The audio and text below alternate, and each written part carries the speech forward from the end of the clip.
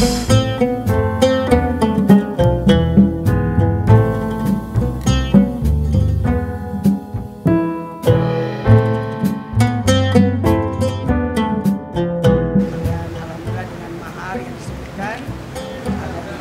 emas, ada uang.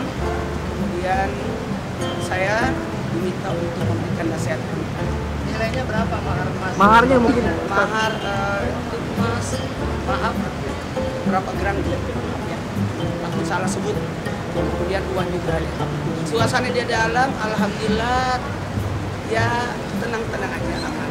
Sah dulu karena juga diawali dengan baca Al-Quran.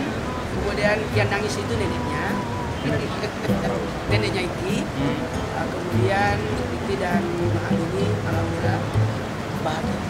Artinya tidak harunya sekarang ini lagi semua. Ya sudah melaksanakan pengajian kemarin, kemudian tadi hari ini tinggal tegar. Saya juga mau bawa suasana bahagia aja.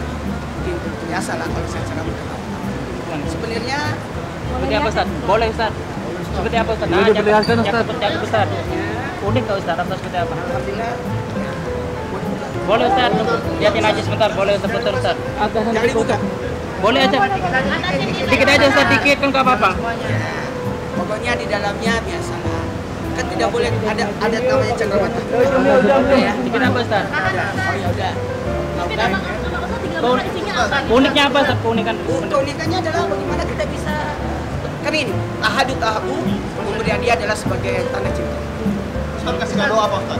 Aduh, Ustaz, mungkin kalau baru souvenir nikah, pestanya. Bentuk apa sebenarnya bentuk barang atau bentuk apa baju atau segala sebenarnya keunikannya Ustaz? Keunikannya ini kan bermakna bermakna dia aja. Dia kan perlengkapan mandi.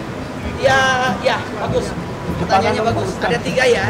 Yang pertama, saya berikan nasihat kepada Iki untuk eh, bersabar terhadap pasangan.